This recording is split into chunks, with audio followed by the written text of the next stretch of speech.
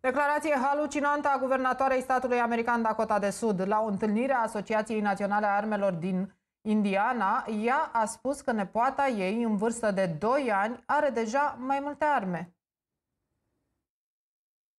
Now, Addie, who, you know, soon will need them, I want to reassure you, she already has a shotgun and she already has a rifle. And she's got a little pony named Sparkles, too, so the girl is set up.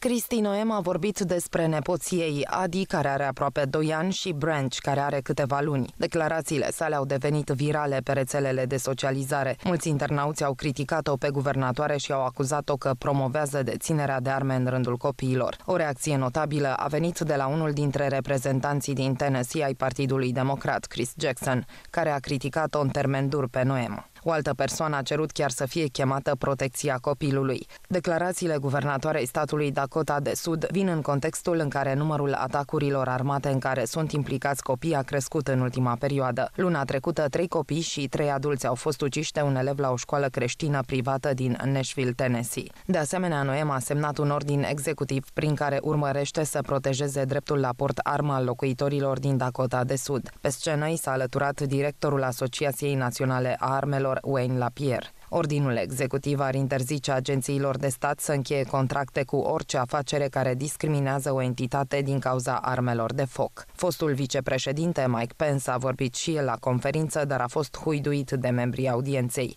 Unul dintre motive ar fi faptul că o parte din baza republicană s-a întors împotriva sa după ce a certificat rezultatele alegerilor din 2020.